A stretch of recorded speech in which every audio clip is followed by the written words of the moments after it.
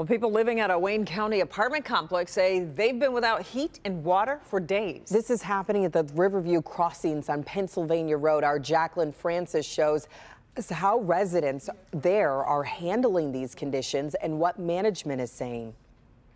Residents at Riverview Crossings are desperate for answers after days without power, heat, or running water. This is my apartment. The floor is as you can see, it's wet. Lakeisha Massey is living with no power, heat, or running water. I have no running water in here whatsoever. How long has it been like that? Uh, for four days now.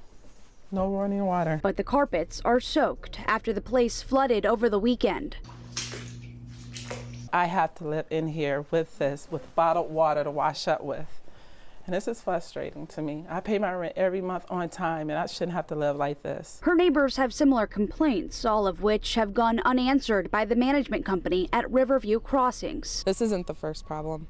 This is multiple problems, and they just put band aids on stuff. Christmas morning. What is their response? Uh, we're going to get somebody out here. Um, they're backed up. We're going to get someone out here. This was three days ago. I called yesterday. We're going to get somebody out here. They still haven't gotten anybody out here. He said you have to use your renter's insurance. I said, I'm not doing that. I said, I can't afford to do that. Plus, I can't afford to pay myself. I mean, I can pay my rent, but then there's nothing left. We caught up with a representative of the property management company before being asked to leave the complex. We're working as fast as we can to get everything fixed, um, but you know we're in the process of that. There are people who have not had heat in months.